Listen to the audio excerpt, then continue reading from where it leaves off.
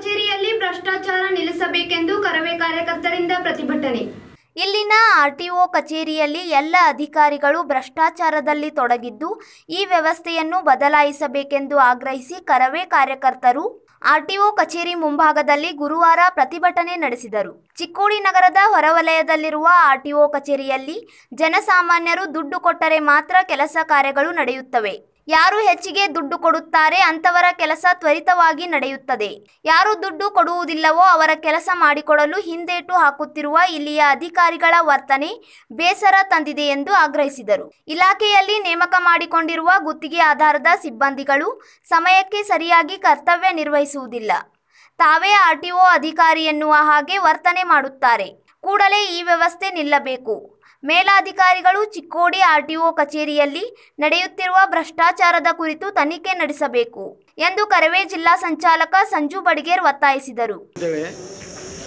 ಆಫೀಸಾಗ ಹಿಂಗೆ ಅಡಚಣೆ ತಡಚಣೆ ಅದಾವಲ್ಲ, ಭಾಳ ಅಡಚಣೆ ಅದಾವ.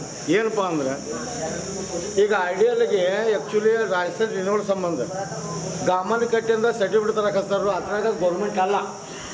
ಅದೇನಿರ್ತದ? ಸಾಧು ಒಂದು ಅಶೋಕ್ ಲೈನ್ ಒಂದು ಟ್ರೈನಿಂಗ್ ಸೆಂಟರ್ ಈಗ ಹೆಂಗೆ ಮಾಡ್ಕೊಂಡ್ರೆ ಇಲ್ಲೆಲ್ಲ ಡ್ರೈವಿಂಗ್ ಡ್ರೈವಿಂಗ್ ಸ್ಕೂಲ್ ಅದಲ್ಲ ಆ ಟೈಪ್ ಅದ. ಏನು ಮಾಡ್ತಾರೆ ಸಾಹೇಬ್ರ ಅದನ್ನು ತರಲಿಲ್ಲ ಅಂದ್ರೆ ರಿನ್ಯೂ ಮಾಡಂಗಿಲ್ಲ. ಅವು ಪಾಪ ಸಾವಿರ ರೂಪಾಯಿ, ಎರಡು ಸಾವಿರ ರೂಪಾಯಿ ಖರ್ಚು ಮಾಡಿ ಹೋಗೋದು, ತಂದ ಮೇಲೆ ಇವರು ರಿನ್ಯೂ ಮಾಡೋದು ಇದೊಂದು ಮೇನ್ ಎರಡನೇದೇನದ ಟ್ಯಾಕ್ಟ್ರಿಗೆ ಫೀ ಇಲ್ಲ. ಒಟ್ಟು ಫೀ ಇಲ್ಲ ಟ್ಯಾಕ್ಟ್ರಿಗೆ ಇವ್ರ ಒಳಗೆ ಏನು ಮಾಡ್ತಾರೋ ಗೌರ್ಮೆಂಟ್ ರೊಕ್ಕ ತುಂಬೋದಾರು ಇವ್ರು ಎಲ್ಲರೂ ಕೊಡಿ. ಹೆಂಗಪ್ಪ ಅಂತಂದ್ರೆ ಒಂದು ಸಾವಿರ ರೂಪಾಯಿ ಸಿ ಎಸ್ ಅಂತೇಳಿ ಅದಕ್ಕೆ ಹಾಕ್ತಾರೆ ಟ್ಯಾಕ್ಟರ್ಗಳಿಗೆ ರೈತರಿಗೆ ಎಲ್ಲ ಫ್ರೀ ಅದ. ಬರೀ ಒಂದುನೂರ ಮೂವತ್ತೇಳು ರೂಪಾಯಿ ಅಷ್ಟು ತಗೋಬೇಕು ಹೊರತು ಹೆಚ್ಚಿಲ್ಲ. ಟ್ರಾನ್ಸ್ಫರ್ ಆಗಲಿ ಅನರ್ಷ ಆಗಲಿ, ಯಾವುದಾಗಲಿ. ಅದಕ್ಕೂ ರೊಕ್ಕ ಕೇಳ್ತಾರೆ. ಅದು ಒಂದು ಸಾವಿರ ರೂಪಾಯಿ ಗೌರ್ಮೆಂಟ್ ಜಮಾ ಮಾಡ್ತಾರೆ ಇವ್ರ ಹೊತ್ತಿಂದ. ಯಾಕೆ ಮಾಡ್ತಾರೆ? ಅದ್ರ ಕಾರಣ ಏನಂದ್ರೆ ಆರ್ ಟಿ ಆಫೀಸ ಇಲ್ಲಿ ಕಲೆಕ್ಷನ್ ಆಗಂಗಿಲ್ಲ. ಕಲೆಕ್ಷನ್ ಆಗಲ್ಲ ಆಗಲ್ಲ ಇವ್ರೇನು ಮಾಡ್ತಾರೆ? ತೋರ್ಸೋಕೆ ಟಾರ್ಗೆಟ್ ತೋರಿಸೋ ಸಂಬಂಧ ಲಕ್ಷ ಇಟ್ಲೆ ಬರ್ಬೇಕಂತೇಳಿ ಇವರೆಲ್ಲ ಮಾಡ್ಕೊಂಡು ಇವರು ರೈತರ ಕಡೆ ರೊಕ್ಕ ವಸೂಲಿ ಮಾಡಕತ್ತಾರೆ. ರೈತರ ಕಡೆ ರೊಕ್ಕದವನ ಹೇಳೋದು ಇಷ್ಟು ಪಾಶಾಕು ಸಹಾಯಕತ್ತರು ರೈತರ ಕಡೆ ರೊಕ್ಕ ತಗೋತಾರೆ. ಅದು ಮೊದಲಿಂದ ಹೋಗಲಾಡಿಸ್ಬೇಕು. ಎರಡನೇ ವಿಷಯ ಈ ಟಿ ಇನ್ಸ್ಪೆಕ್ಟರ್ ಆಗಲಿ, ಯಾರು ಆಗಲಿ, ಮ್ಯಾಲ ಮಧ್ಯವರ್ತಿಗಳು ಅವರು ಸೆಕ್ಯೂರಿಟಿ ಗಾರ್ಡ್ಸ್ ಅಂತ ಇಟ್ಕೊಂಡು ಅವರೆಲ್ಲ ಕುಡಿಲೆಲ್ಲ ರೆಡಿ ಮಾಡಕತ್ತಾರೆ. ಅವ್ರ ರೆಡಿಯಿಂದ ನಿಮ್ಮ ಪಾಪ ನಿಮ್ಮಂಥ ಅಮಾಯಕ ಮಂದಿದ್ದೆಲ್ಲ ಕೆಲಸ ಆಗೋಂಗಿಲ್ಲ. ಯಾರೇ ಅಂದ್ರೆ ನಡಿಗೆ, ಯಾರಾದ್ರೂ ನಮ್ಮ ಕೇಳ.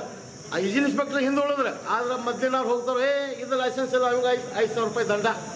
ಎರಡು ಸಾವಿರ ರೂಪಾಯಿ ಕೊಡ್ರಿ ಇದೆಲ್ಲ ಆಫೀಸ್ಗೆ ಯಾಕೆ ಬರಂಗಿಲ್ಲ? ಇವೆಲ್ಲ ಲಂಚ್ ಪ್ರಕರಣ. ಇದು ನಮಗೆ ಬೇಡಾಗೈತಿ ನಾನು ಒಂದು ಮಾತು ಹೇಳ್ತೀನಿ.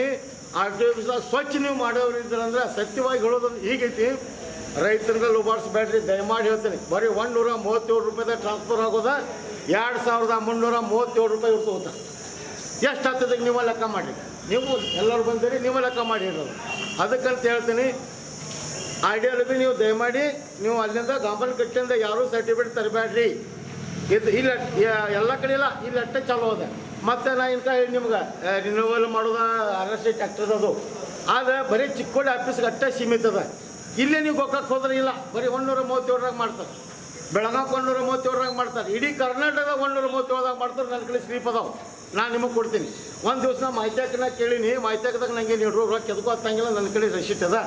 ಇವರೇ ಏ ರಶೀಟ್ ಅಷ್ಟು ಬರ್ತೈತಿ ಎಲ್ಲ ಕೊಡಬೇಕು. ಮೇನ್ ಅದಾರ ಇದ್ರಾಗ ಯಾರಪ್ಪ ಅಂತಂದ್ರೆ ಮೇನ್ ಆಡಿಯೋನೇ ಹಿಡಬೇಕು ನೀವೆಲ್ಲರೂ. ಅಂದ್ರೆ ಕೆಲ ಕೆಲಸ ಆಗ್ತದೆ. ಇಲ್ಲಿಕ್ಕೆ ಆಗಂಗಿಲ್ಲ.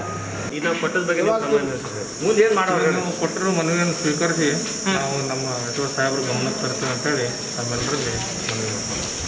ಈ ಸಂದರ್ಭದಲ್ಲಿ ಪ್ರತಾಪ್ ಪಾಟೀಲ್ ಹನುಮಂತ್ ಕಾಂಬ್ಳೆ ದುಂಡಪ್ಪ ಚೌಗ್ಲೆ ಖಾನಪ್ಪ ಬಾಡ್ಕರ್ ಮಹೇಶ್ ಯಾದವ್ ಮುಂತಾದವರು ಉಪಸ್ಥಿತರಿದ್ದರು